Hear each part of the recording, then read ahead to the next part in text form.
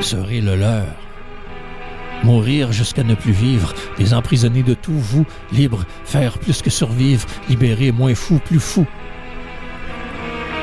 Écrire, poétiser jusqu'à plus encre, raconter leur vie, rendre justice, leur donner bateau à mar encre, dériver avec eux, nommer injustice. Faire de ma vie la leur, qu'ils parlent au travers plume, forcer d'écrire, d'écrire leur heure, jusqu'à plus voix, n'être qu'une. Parler dénoncer sur scène, crier, ignominie, atrocité leur vie, ceux qui n'ont jamais choisi, ne jamais cessé, les laisser tomber. Être leur voix, cri liberté, désenchaîner leur cœur pour toujours que vous entendiez leur vérité, plus jamais la vôtre gagne de vos tours. Je jure sur la bille de mon crayon, sur toute la force qu'on m'a destinée, que je ne m'étairai jamais parole d'Yvon et que votre indifférence vous ferait envaler. Tant que l'encre coulera dans mes veines, j'ancrerai leur solitude, leurs paroles jusqu'à ma mort, mon ultime déveine. J'écrirai sans vergogne leurs paraboles.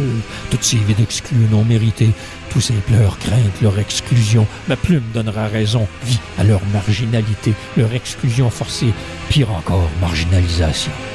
Qu'à jamais, par la force de toute leur peur, perdus ne seront leurs solitaires dans la nuit crient, prisonniers de vos d'ivoire de tours, vie d'infinie torpeur, que ma noirceur apporte clarté lumière. Noire poésie.